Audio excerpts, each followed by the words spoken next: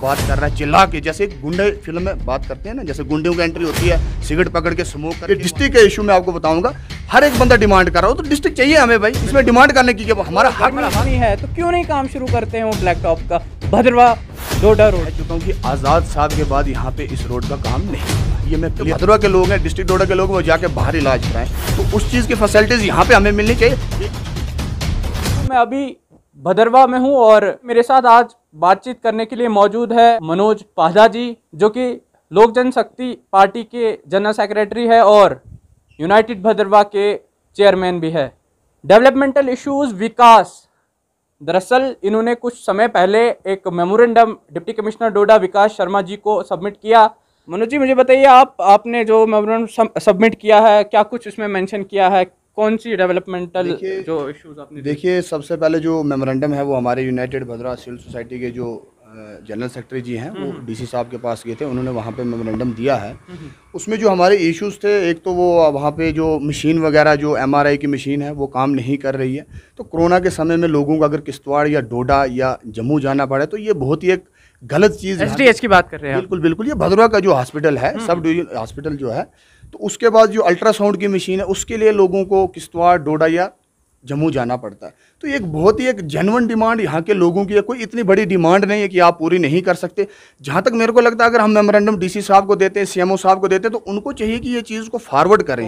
Forward करें या commissioner साहब जो अटल डुल्लू जी हमारे उनको फॉरवर्ड करें। नहीं तो हम डायरेक्ट कमिश्नर साहब से मिलते हैं इसलिए। क्योंकि अगर ये छोटी जेनवन डिमांड है लोगों की है कोई बहुत बड़ी डिमांड नहीं है तो ये सब मेमोरेंडम हमने वहाँ पर डेवलपमेंटल इशू जो वहाँ पर दिए हुए हैं तो इस पर अभी तक कोई कार्रवाई नहीं हुई है। तो अभी मैं आपसे ये भी बताना चाहूँगा कि शायद एक दो दिन में हम सीएमओ डोडा से भी मिलेंगे। या बी भद्रा जो है उनसे भी बात करेंगे कि वहाँ से क्या रिवर्ट आया आपको आप हमें बताएँ। नहीं तो हम जाके कमिश्नर साहब से डायरेक्ट मिलेंगे। अगर आप एक मेमोरेंडम पेश करते हैं उनके सामने भद्रवा की बात करते हैं तो एटलीस्ट आपको फॉलोअप करना चाहिए उस चीज़ को पूछना बनता है उनसे क्योंकि आप एक युवा नेता भी है। नहीं, देखिए, उनकी जवाबदारी बनती है ना। अगर हम कोई पब्लिक की डिमांड लेके एडमिनिस्ट्रेशन के पास जाते हैं, जो अथॉरिटीज़ के लोग हैं, जो ये कर सकते हैं तो अगर नहीं वो कर रहे हैं तो पूछना तो हमारा फ़र्ज़ है ना। अगर पब्लिक हमें बोल रही हम नहीं पूछेंगे, कौन पूछेगा?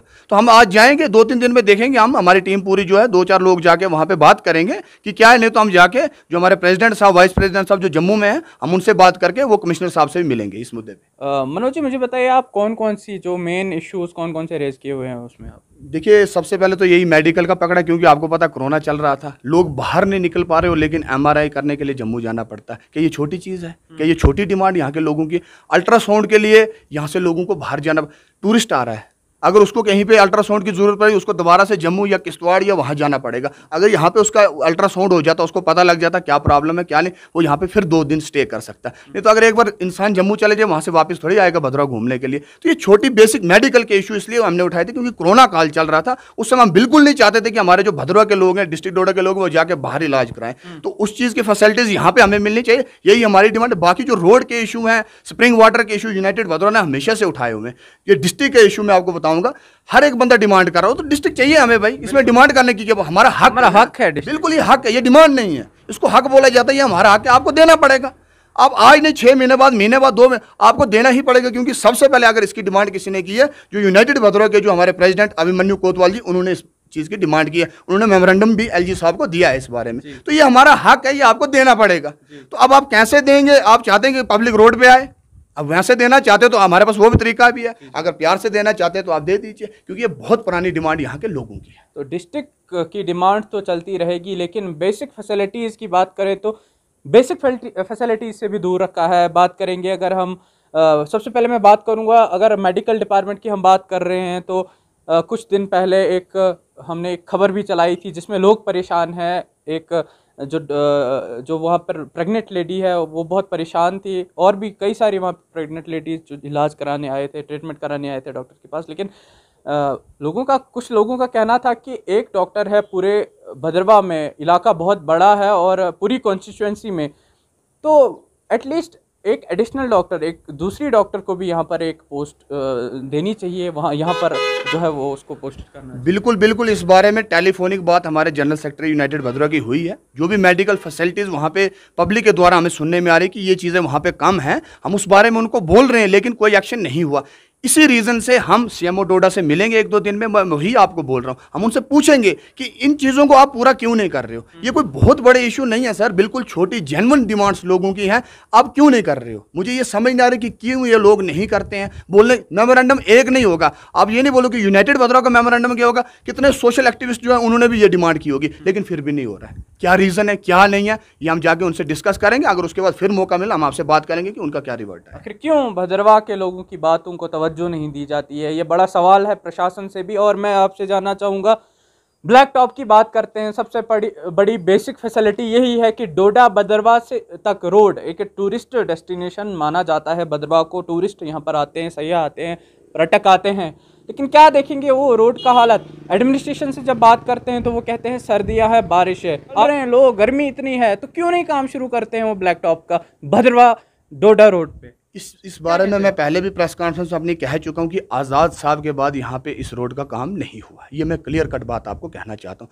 आज़ाद साहब के पहले ये जो रोड थी, दो घंटे यहाँ से डोडा डेढ़ घंटा लगता था, लेकिन जब आज़ाद साहब ने ये रोड बनाई, आज हार्डली 25 से 30 मिनट वहाँ पे लगते हैं गाड़ी में, लेकिन उसके बाद कोई भी काम वहाँ पे नहीं हुआ। तो इस रोड का काम इसलिए होना चाहिए, जो हमारा टूरिस्ट आता है, ये मेन रोड है, जहाँ से टूरिस्ट भद्रवा में एंटर करता है। तो कम से कम इन चीज़ों को तो आप, बेसिक इशू सर, ये कोई बहुत बड़ा इशू नहीं, लेकिन इनको करना, ये क्यों नहीं कर रहे हैं? कोई समझ नहीं आ रहा पब्लिक को। पब्लिक पूरी परेशान है।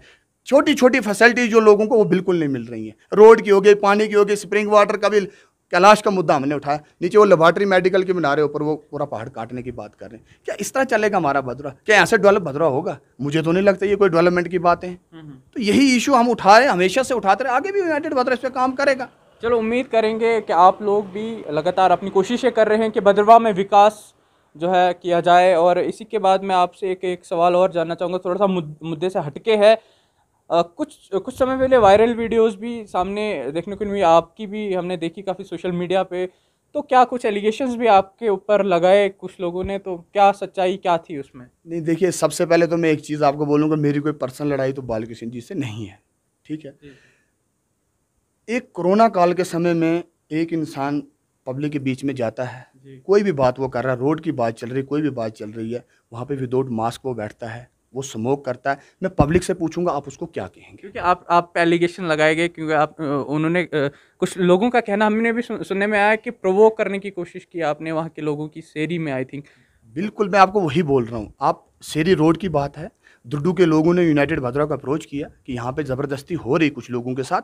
हम उसके बाद उन लोगों से मिले नहीं हैं, लेकिन उन्होंने कहा कि मनोज जी यहाँ आए, हमारे गाँव में लोगों को भड़काया, हम वहाँ पे नहीं गए हैं। मैं एक्चुअली उस टाइम किश्तवाड़ में था। तो चलो मैं आपको ये चीज़ बताना, जो मैंने उनको बातें कही, मैं आम पब्लिक से पूछता हूँ, अगर कोरोना काल के समय एक इंसान विदाउट मास्क लेडीज़ से बात कर रहा है और इस लहजे में वो बात कर रहा है, चिल्ला के, जैसे गुंडे फ़िल्म में बात करते हैं ना, जैसे गुंडियों की एंट्री होती है, सिगरेट पकड़ के स्मोक करके वो अंदर आते हैं तो ऑटोमेटिकली एक उनका रोल वहाँ पे विलन वाला दिख रहा था। तो उनको मैंने गुंडा कहा तो मुझे नहीं लगता मैंने उनको गलत कहा। विदाउट मास्क अगर वो कोरोना काल में चल रहे हैं तो अगर मैंने वो कहा कि वो वायरस फैलाएँगे, ये वायरस क्यों फैला रहे हैं इसमें गलत क्या कहा? उसके बाद उन्होंने एक बच्ची को वहाँ पे लाके, बच्ची के उससे वीडियो बनाए जो दस साल की बच्ची है। सर, मैं आपको बताऊँ, हमारे सनातन धर्म सभा में दस साल की बच्ची को देवी कहा जाता है। इन सब चीज़ों के लिए उसको यूज़ नहीं करना चाहिए। वो बच्ची अगर मेरे को थप्पड़ में मार देगी ना मैं फिर भी उसको कुछ नहीं कहूँगा। यही चीज़ अगर किसी बड़े ने कही होती शायद मैं उसको जवाब देता लेकिन वो देवी रूप है सनातन में उसको देवी माना जाता है। हम कते इस चीज़ को यहाँ से रिवर्ट उस लड़की को नहीं करेंगे। वो छोटी बच्ची है वो हमारे लिए देवी रूप है। बाकी ये चीज़ हुई थी उसके बाद उन्होंने बोला हम मनोज जी पे कार्रवाई करेंगे। वो भेजा से आके शेरी में आए। सर आप मुझे बताओ भेजा क्या कहीं इंग्लैंड में थोड़ी है? अपने तहसील में तो है भेजा। शेरी भी अपने तहसील में ही है। हम तो भद्रा के मतलब आपने एक किस्म की एक हाईलाइट इशू करना चाहा था। मैंने? उस टाइम नहीं मैंने हाईलाइट नहीं किया इशू हाईलाइट उन्होंने किया। अच्छा। मैंने तो खाली उनको बोला कि आप विदाउट मास्क अगर जा रहे आप गुंडे हैं। आप वायरस फैलाने का काम वहाँ पे कर रहे हैं। जबकि कोरोना का पीक समय उस टाइम चल रहा था केसेस आए दिन वहाँ पे बढ़ रहे थे। तो आप एक जनता के प्रतिनिधि हैं। जनता आपको देखे करते और आप ऐसे स्मोक करेंगे तो सर अच्छा नहीं लगता है। बाकी मेरी बाल कृष्ण जी से पर्सनल कोई लड़ाई बहुत बहुत